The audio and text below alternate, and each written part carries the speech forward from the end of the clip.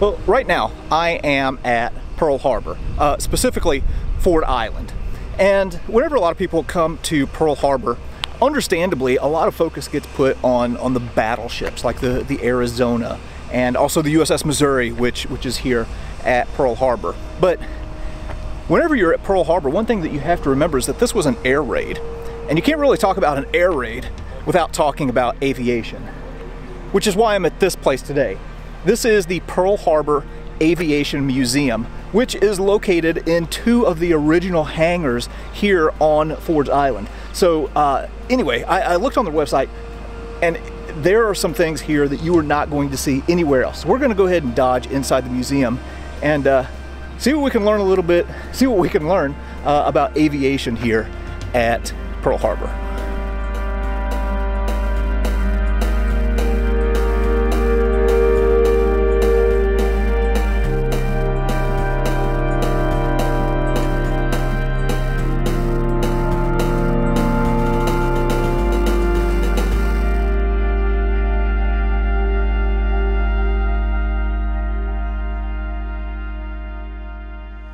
Well, this right here is Hangar 37, which now is one of the hangars that houses the Pearl Harbor Aviation Museum. And take a look at this.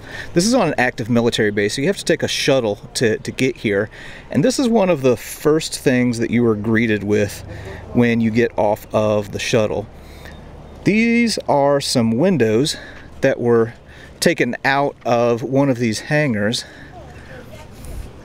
that still have bullet damage from the December 7th attacks. That is really something else. Uh, and also, before we go in, if you look across the parking lot here, you, you see this tower. Uh, this was the air traffic control tower um, in December of 1941. And uh, this was a water tower that was being converted to an air traffic control tower and they have just opened this up to the public to go up to the top. So uh, as soon as we're done here in this hangar, we're actually going to uh, go inside and uh, see if we can get a little bit different view of Pearl Harbor. But as for right now, we're gonna go ahead and go inside uh, hangar 37 here and uh, see what we can see.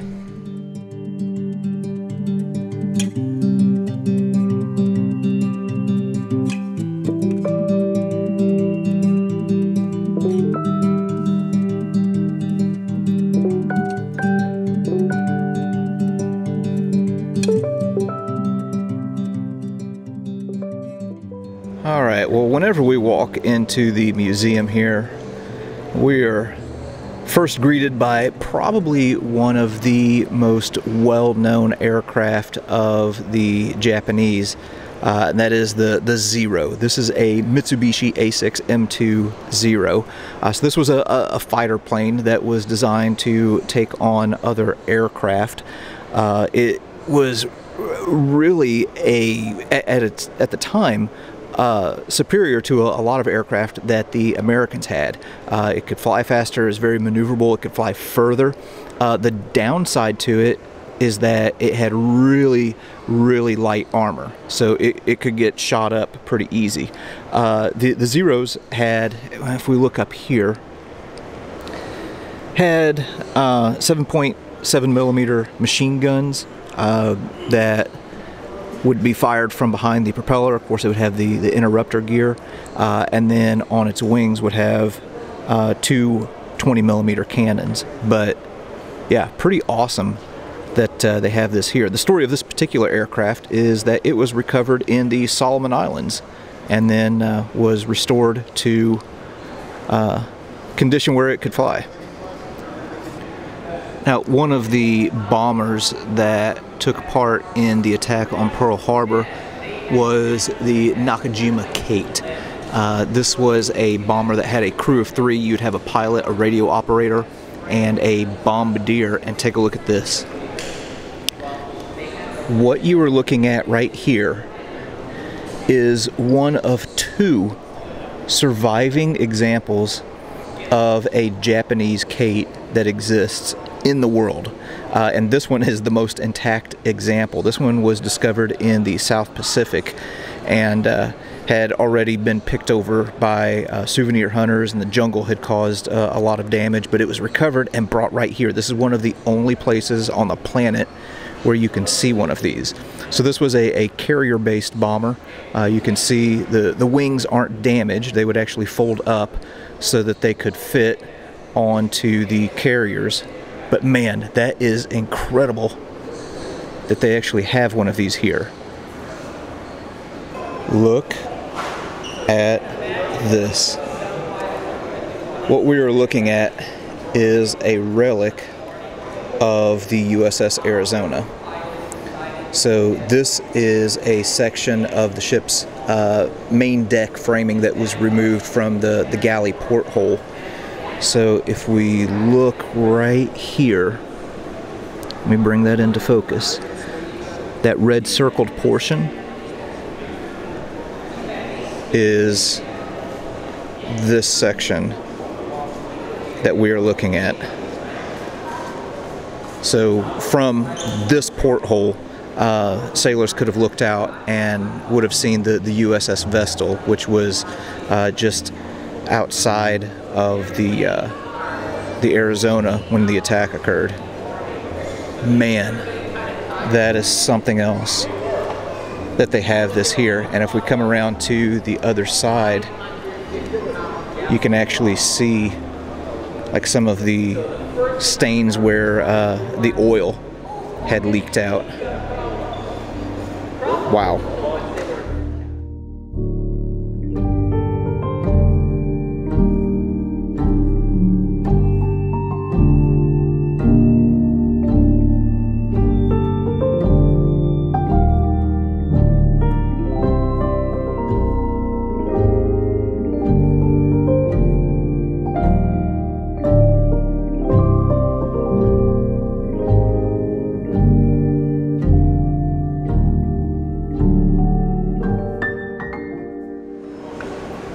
This is a pretty crazy story.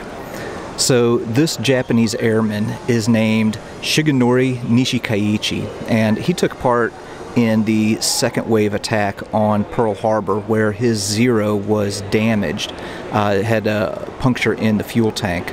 So he ended up flying his aircraft to the island of Niihau and uh, crash landed there. The civilians had dug trenches where in the landing area, and uh, anyway, there was a, a big incident that I'm not going to go fully into, but he, he tried to kind of he took some prisoners there uh, on the island with the help of uh, this guy right here, uh, whose name was Yoshio Harada and uh, who spoke Japanese. Uh, but he, he took some prisoners there, and then the, the prisoners ended up overpowering him and killing him. Uh, now, before that, he'd went out and set fire to his airplane to keep any secrets from being taken by the Americans. And what we're looking at right here is some of the wreckage of that aircraft. So these are pieces of a Japanese Zero that actually took part in the attack on Pearl Harbor. And it's so cool to, to come to places like this museum and see these artifacts uh, not just for the sake of seeing the artifacts, but more for the, the story they tell. This is a story that has kind of flown under the radar, and this is one of the, the few times that you can see wreckage from an, an aircraft that actually took part in the Pearl Harbor attack. One thing that we can't forget here at Pearl Harbor is that uh, there were civilians who were caught up in this fight as well. Uh, like this guy, Roy Vitousek, and his son, who uh, really picked a bad morning to go up and do a little bit of joyriding in this plane right here. Uh, can you even imagine going up with your son to do a little bit of morning flying and sightseeing, and then all of a sudden, here comes hundreds of Japanese aircraft shooting at anything uh, there around Pearl Harbor. Uh, they ended up safely landing and ran into the jungle and hid, but man, That is quite the story, and that is the actual aircraft, by the way. It's not a replica. That that is the aircraft that went up on uh, the morning of December 7th. So, also on display here at the museum, they have a twin engine B 25 Mitchell. I, I, love these bombers. These are the bombers that were used on the Doolittle raid, which was uh, kind of like a, a, retaliatory mission after Pearl Harbor to try and uh, really send a, a signal to the Japanese, but also to boost the morale of the U.S. And what's incredible is they stripped these things down and got them to the point where they could take off from an aircraft carrier. Uh, now, this one uh, has, is, is really kind of uh, assembled from several different uh, B 25s, but it's been restored to uh, look like the ruptured duck, which was uh, plane number seven on the Doolittle raid. Now, here's one cool thing that you'll only get if you listen to the audio tour whenever you come through here. If you look right here, well, you'll see a couple of signatures. Well, there were a couple of Doolittle Raiders who visited this museum. One of them was Dick Cole from plane number one. He was the co-pilot for Jimmy Doolittle. And uh, the other one is Tom Griffin, who was the navigator in bomber number nine. Okay, we're seeing all kinds of cool things in this museum uh, including this plane right here. This is an F-4F Wildcat. And uh, after the attack on Pearl Harbor, the Enterprise uh, sent out uh, some of these Wildcats to, to, try and search for the Japanese fleet. Uh, they, they were unable to find them. It was dark, they couldn't land back on the Enterprise, so they ended up coming back around to Pearl Harbor.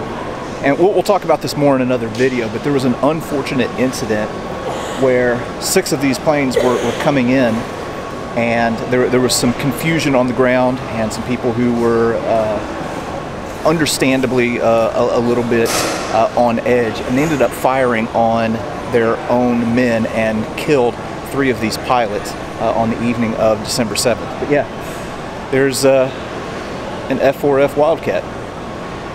Uh, one other thing that I probably should mention about the F4F Wildcat, uh, this aircraft was, um, how shall we say it, uh, less than awesome when compared to the other uh, enemy aircraft that it was going up against.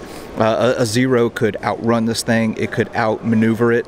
So the, the men who piloted these aircraft were just absolute beasts. And uh, they had to kind of rely on, on teamwork and had to rely on outmaneuvering the enemy in order to survive and to hold the line. They had a thing called a, a Thach weave, uh, where if one aircraft got an enemy on its tail, well, they would fly towards each other to where the wingman could take out the uh, the enemy that was tailing the other guy. But anyway, uh, the, these are the planes that, that kind of held the line until better aircraft could, uh, could be brought to bear. Check this out. This is a Douglas SBD Dauntless. This is an American dive bomber. And something kind of funny, the men who piloted this plane uh, jokingly said that SBD stood for uh, slow but deadly. Uh, but there, there, are a few things on this that, that I want to point out, a few features that really make it unique. One is this right here. These are called dive brakes. So whenever this plane would go into its dive run to drop its bomb, well, it would be a very at a very steep angle. Well, to, to slow it down, they would deploy these dive brakes to keep it from going down too fast. And another thing, if we walk over here, if you look on the underside of the Dauntless, well, there's a swing arm where the, the bomb load would swing out so that it could avoid hitting the propeller. Because if your bomb hit the propeller or vice versa, well, that might be uh, just a little bit inconvenient. Uh, now, these were huge uh, in the Battle of Midway. This particular aircraft saw action in the Battle of Coral Sea. uh, and then was sent back to the United States and used as a trainer. It ended up crashing in Lake Michigan and uh, was recovered in the mid 2000s. And really, just recently, uh, in the past year, made its way to where it sits right now at uh, the Pearl Harbor Aviation Museum. Very cool to see one of these.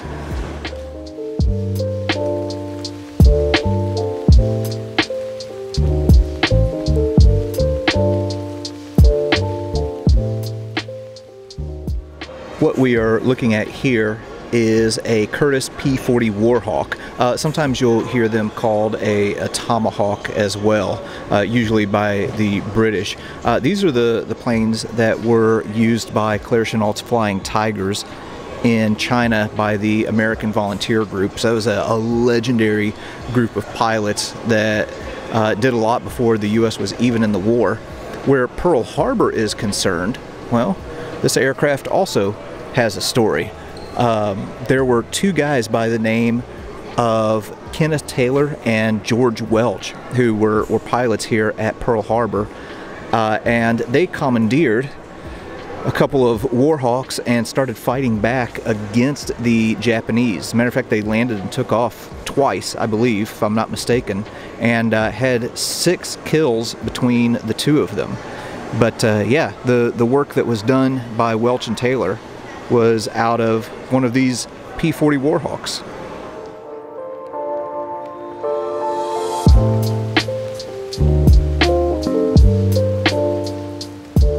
All right, uh, that was legitimately cool. And uh, now we've got a little bit of a, a, rain situation going on now, but there are things in that hangar and in that museum that you simply are not going to see anywhere else in the world. Uh, so there's uh, another hangar here. That was 37. We're getting ready to go to 79, which has uh, a few more aircraft in it. And then we're going to go up in uh, this tower right here, which I'm told inside uh, offers a view of Pearl Harbor that you are simply not going to get anywhere else.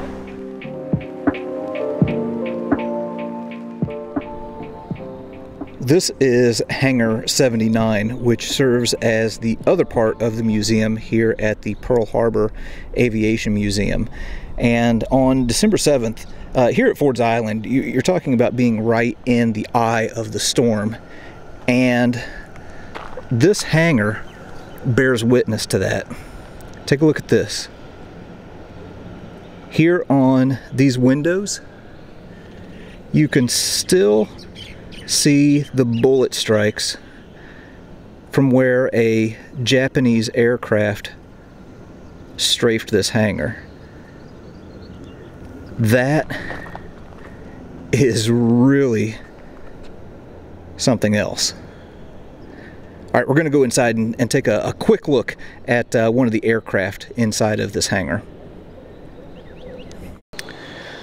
Well, here in Hangar 79, they have a B-17 on display with one heck of a story. And uh, if you'll notice, this thing looks a, a little worse for the wear.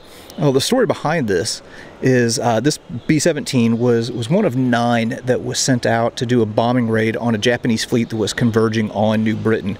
Long story short, there were weather problems, there were mechanical problems, and then uh, this particular B-17 had a whole bunch of Japanese fighters that were, were swarming it. It took some damage, and ended up having to do uh, a crash landing in New Guinea, which is a, a pretty uh, environmentally hostile place. Uh, they ended up setting down in a swamp. They thought it was a field. The whole crew survived, which is a testament to how well built these aircraft were. And uh, six weeks later, uh, they ended up in Port Moresby after making their way out of the swamp. Uh, so if we go over here, this is where they, they kind of tell the story uh, about this aircraft. Well, for the next several years, it just sat in this swamp. Uh, as a matter of fact, the, the pilot of this aircraft, whenever he got a new plane, would fly over it and could see his crashed plane, uh, you know, on a regular basis. And uh, later on, it got the nickname the the swamp ghost. Well, in the mid 2000s, there was an effort to recover the swamp ghost. So using helicopters, they got this thing out a piece at a time, and then uh, it made its way, finally, after a long journey, to the Pearl Harbor Aviation Museum. Very, very cool. And then they collaborated with Disney, who uh, was responsible for you know a lot of artwork and inspiration for artwork during World War II on these planes. And uh, yeah, here's Disney's artwork for the Swamp Ghost. I love that story. Man, this place is just so stinking fascinating. And for, for everything that I'm showing, there's a whole lot more that I'm not showing. Uh, there's there's just too much, and this video would be like five hours long. Uh, but anyway, you have to come here for yourself and check it out. But for right now, we're gonna go up here and uh, take a look in this tower. All right, so this building today serves as the operations building for the Pearl Harbor Aviation Museum. Uh, in 1941, this would have been a fire station. And this tower uh, would have been a water tower that was in the process of being converted over to an air traffic control tower. Now, if you look right here, that was the weather station and air traffic control tower uh, here on Ford Island on December 7th. And it was from this spot right here that the first message went out that there was an attack on Pearl Harbor. All right, so we're gonna go inside and uh, head to the top.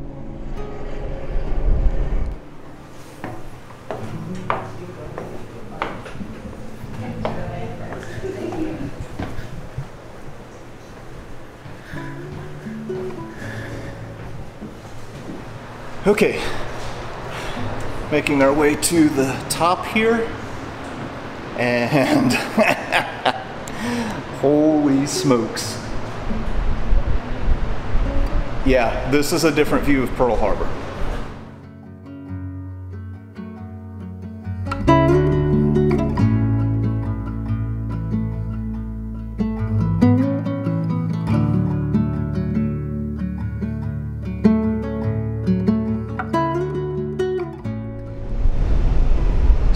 Seriously, look at this.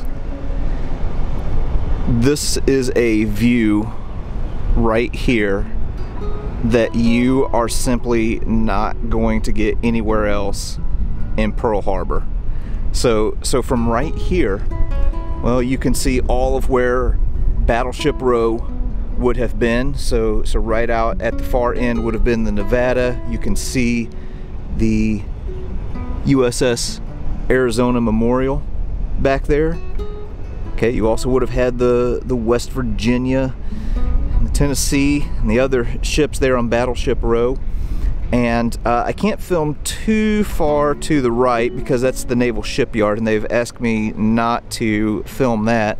But, but right here to the right is the Southeast Loch. So you can stand here and, and just imagine on the morning of December 7th these torpedo bombers coming in from this direction and just slamming into the sides of like the, the Oklahoma and the, the West Virginia and then having the dive bombers coming in and hitting those inboard ships. Okay, and then if we, we look back here, okay, well back here is where the, the Utah would have been. This is the area of Pearl Harbor where the carriers were supposed to be, but uh, which were fortunately out to sea the morning that the Japanese came here to attack.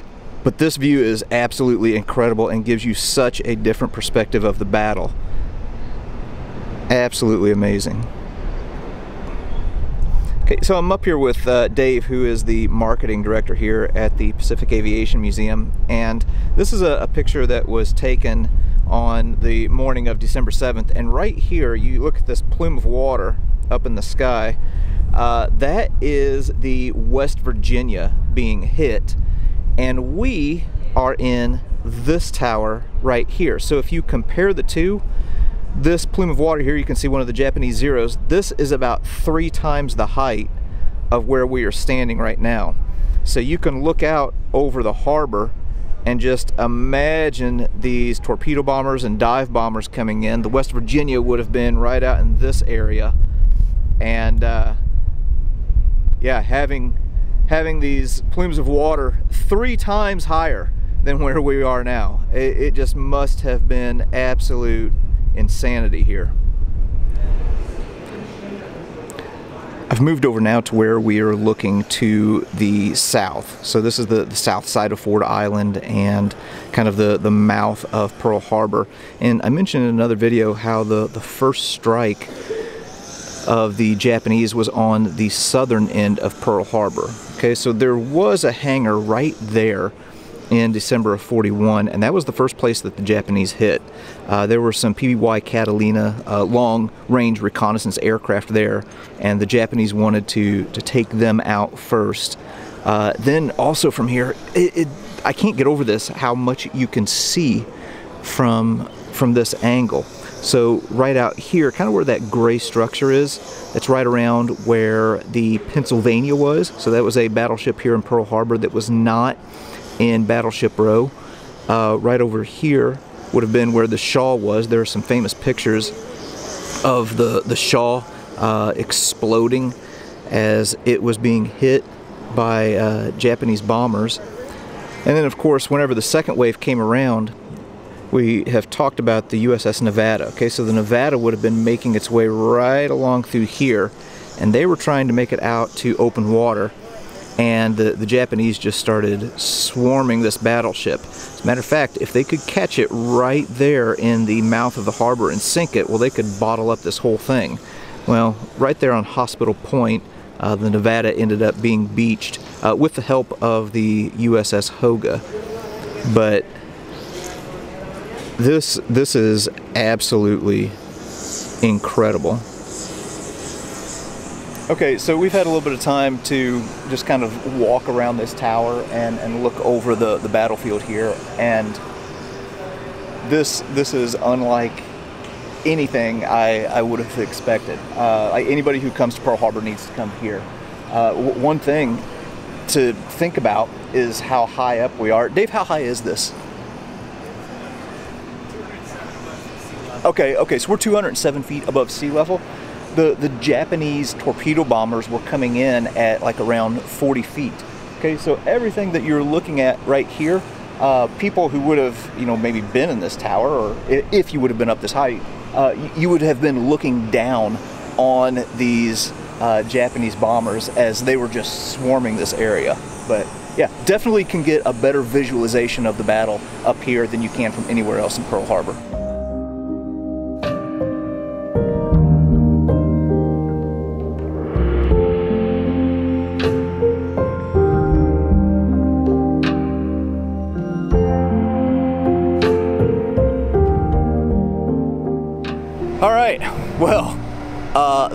Was awesome. Uh, I know that I've already said this like 10 or 15 times now, but you're going to get a view of Pearl Harbor from this spot right here that you are not going to get anywhere else. Uh, now, the, the Pearl Harbor Aviation Museum uh, is a, a non-profit. So all of the, the money for tickets and everything like that goes right back into uh, preserving these places and, and improving them for, for the public and uh, educating people about what happened here at Pearl Harbor. But if you ever come to Pearl Harbor, come to this place. I, I am not kidding. Uh, it is an experience like no other and uh, will give you a perspective that, that you will not get anywhere else.